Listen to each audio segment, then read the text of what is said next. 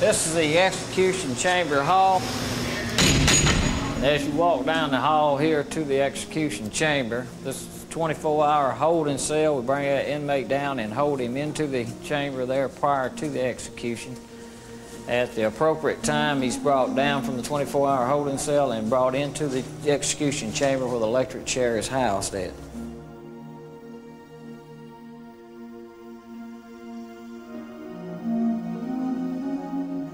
For almost a hundred years, the state of Alabama has used electricity to execute criminals.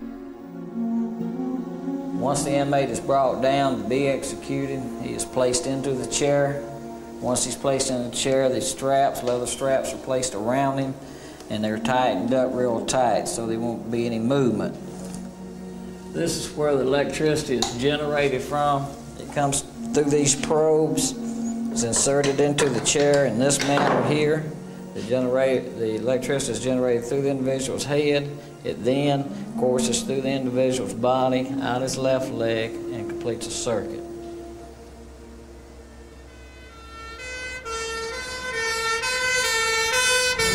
doing DIY. Here. I think he's just arrested now. This man's heartbeat has been stopped by an electric shock. The only chance of restarting his heart is to give him a second, controlled shock. We've had a good output on the way here. He's just arrested outside the doors. We've got something to run through this centre line. Okay, Tube's in the right place. great. Okay, I'm just going to read through the paddles. Can you check a pulse? No pulse. VF on the monitor, charging to 200 joules. Stand clear. The central lines in will have a milligram No of adrenaline, pulse. please. Yeah. Charging 360 joules. Stand clear. Can I have a needle, please? Still no pulse. Still in VF, charging 360 joules. Everybody stand clear. Yes, there's a pulse. Good Great. output. Excellent. The heart isn't directly stimulated by the brain. Unlike other muscles in the body, it has its own natural pacemaker, which sends out electrochemical impulses to create a regular beat. An electric shock disrupts the heart's pacemaker. In some operations, surgeons deliberately stop the heart from beating. The operation is going to be carried out using two types of electricity.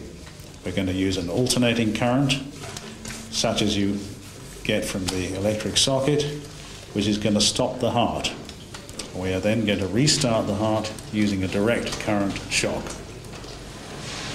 Before the heart can be stopped, a machine takes over the function of the heart and lungs to keep the patient alive. Because the shock will be applied directly to the heart, the voltage is much lower than if it had to overcome the resistance of the skin. We're now going to apply an alternating current to the heart at 20 volts and about 10 milliamps. You can see as it's applied, the heartbeat stops and the heart begins to wriggle in an uncoordinated fashion. Normally, the heart beats regularly. An AC shock sends the heart into spasm. The heart will remain in spasm indefinitely, which makes it much easier for the surgeon to operate. Rubber shock, please. Now we're going to make the heart beat again by shocking it with a direct current shock. Fire, please. Voila. A DC shock momentarily stops the heart completely. This allows the heart's pacemaker to resume its beat. The other muscles in the body also respond to electricity. If I touch this conductor, which is actually not live at the moment, but then make it live by gradually increasing the voltage on it from a piece of equipment that I have behind me, as I gradually turn the voltage up, I start to feel a slight tingling sensation in my hand. If I increase the voltage a little bit more, then my hand will start to quiver and then the muscles start to contract. And as that happens, my hand clamps down rather painfully onto the conductor. It's completely involuntarily. There's nothing I can do to unlock that hand. And so potentially that's a very dangerous situation if the current is flowing across from your chest from one limb to the other. And I'm going to switch it off now because it's jolly painful. There are continuous streams of electrical impulses travelling around the body, both coming up to the brain from the sensory systems, which allow you to feel things, and travelling the other direction from the brain back down to the muscles to control movement. These signals can be displayed on an oscilloscope. At the moment, my muscle is relaxed, so there's virtually no electrical activity in it whatsoever. If I choose to move my little finger, you can see there is a large amount of electrical activity there as my brain tells my finger to move. It just so happens that these electrical signals occur at frequencies that the human ear can hear, so you can connect them to a loudspeaker and actually listen to your muscles.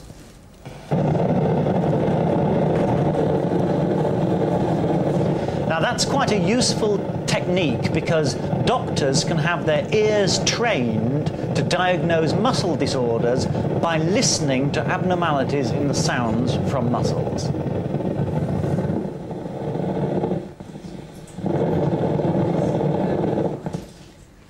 One of the ways that we can detect if the nervous system has been damaged is to measure the speed at which electrical signals are travelling around the nerves. Here I've got conducting jelly which I'm applying to a pair of electrodes and I'm now going to stick these electrodes over my ulnar nerve at the funny bone. The machine delivers a series of short electrical shocks to the electrodes at my elbow and causes my hand to twitch once a second when the shocks are applied. How quickly the signal passes down the nerve indicates how healthy the nerve is. Unfortunately, this technique can be very painful. We have over a number of years, though, developed this new technique called magnetic nerve stimulation, which allows us to cause currents to flow in the brain without passing through the skin. It's very easy to demonstrate. I have a large coil here which I can place centrally over my head, and when I stand on a foot switch, as you can see, I cause currents to flow in my brain, which triggers many of the muscles in the body, resulting in movement. And then, of course, we can record the signals from the muscle just as we did when we were electrically stimulating the nerve. Using electricity to diagnose illness is widely accepted. But electricity is also used as a treatment. Since the 30s, people have had electric shocks given to the brain, a treatment called electroconvulsive therapy, or ECT.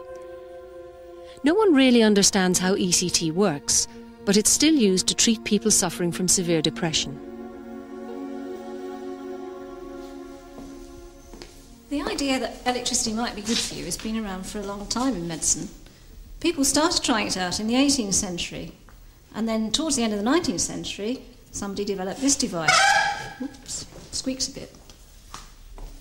What happened with this was that you stood right inside it, completely insulated electrically, and when the current was passed in these wires, a magnetic field inside the cage induced currents inside the body. Now, these machines were advocated for all kinds of complaints for general aches and pains, for sprains, for generally feeling rather low, and even for constipation. And this electrode here was used for combing your hair. And it was supposed to cure baldness. Many of these historical beliefs about electricity haven't died out. They're still available in every high street.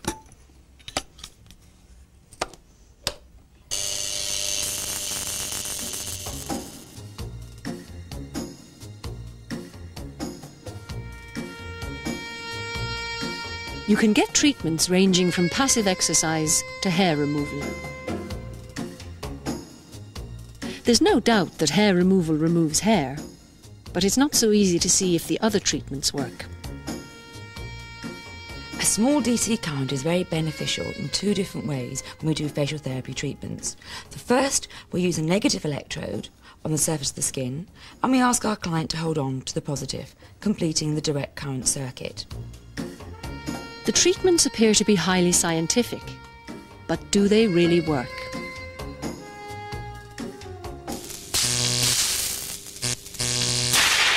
At the moment, anybody can make and sell electromagnetic therapy devices, be they for cosmetic purposes or for actually treating diseases. There's no regulation on the marketing and advertising claims made for such devices. Drugs and such like are covered by the Medicines Act, but medical devices, so-called, are specifically excluded. This means that they do not undergo rigorous trials that prove that they work before they are sold. So I can make a gadget, claim that it cures migraine, herpes, anything I want, and advertise it and sell it, and the chances are I'll get away with selling it and make a lot of money for myself and not do the poor patient who's paid the money any good at all. It could be argued that much of the apparatus we actually use in professional beauty therapy isn't scientifically proven, but indeed many of the techniques and principles have their roots in the medical profession. We must remember when a client goes into a salon and begins a course of treatment, they want to improve or redress a certain condition. At the end of this course of treatment, if they feel better about themselves and feel much more positive, this is a very vital and important benefit. None of these treatments has a proven scientific background, and that would be important if they were making any medical claims. And I think that much of the outcome of treatment in beauty salons relates more to the atmosphere of the salon, the physical treatment, and the uh, relationship that develops between the beautician and the client, rather than any actual uh, physical effect of these treatments.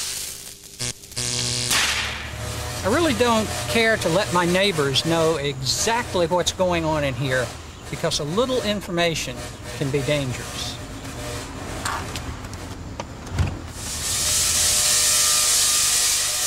Richard's experiments involve producing huge electrical charges, up to 3 million volts. The top of the machine cannot contain this charge, and it sprays out in 5 metre arcs. It was invented 100 years ago by Nikola Tesla. Tesla was one of the world's great inventors. Among other things, he introduced us to radio, fluorescent lights, and robots.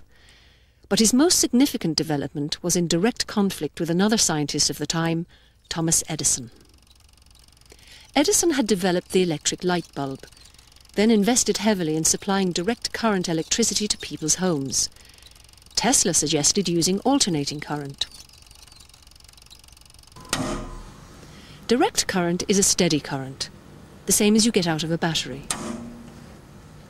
Alternating current changes direction. Edison always referred to alternating current as the killer current, and he was determined to show that alternating current was dangerous.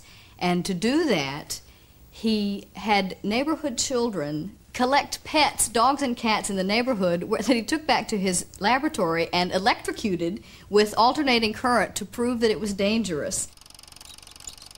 And he went so far in this war as to suggest to the New York State legislature that hanging should not be the way that criminals were executed, that they should be executed by the electric chair. And he invented an electric chair using alternating current to put the criminals in and to kill them. Tesla countered with his own propaganda including this photograph. In fact, it was a fake, using double exposure photography. It would be too dangerous to be near such a machine without protective clothing. In the end, Edison had to accept that alternating current had a significant advantage over direct current. There's a fundamental difficulty with transmitting direct current, and that is that over long lines, the electricity is slowly lost. The first user has plenty of energy, but as you move further down the line, less and less energy is available to the user. Where has this electricity gone? It has gone in the form of heat, heating the electrical lines themselves. Therefore, the electricity is not available to the end user on a long line.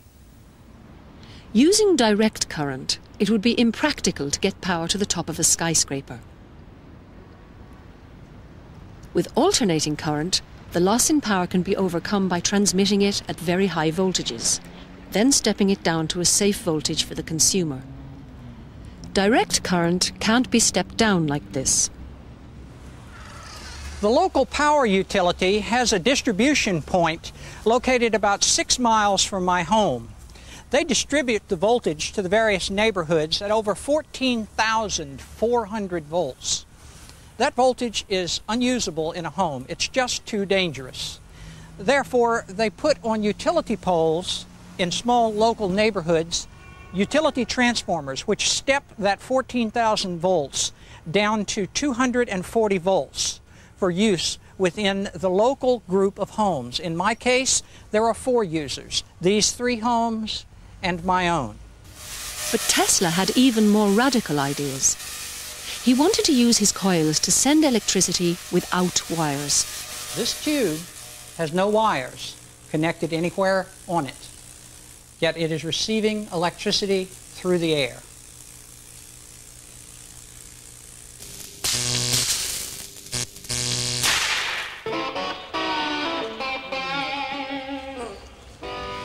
We thought that there was something badly wrong with our equipment because it had already tripped a, an electrical trip switch in, in our rehearsal room five or six times before the night. We tried really hard to, to find out what was wrong and where it was and put it right, but we hadn't been able to. It had been a, a really excellent night. We only had another two songs to go. Right towards the end of the gig, the, the guy accidentally hit the microphone stand with his strings. At that point, something went wrong with the electricity from his amplifier and it ran along all of his strings across his heart. And so he was killed immediately. He was actually dead before he hit the floor. Philip Handy was only 18. The current that killed him was too small to blow the fuse. A current of about 50 milliamps is enough to put the breathing muscles into spasm so that the patient stops breathing and 100 milliamps is enough to stop the heart. A fuse is designed to allow several amps to flow before it melts. Its purpose is to prevent fires. It won't prevent electrocution. What does protect you is a residual current device, or RCD. Receiving an electric shock will still hurt, but the risk of electrocution is much less.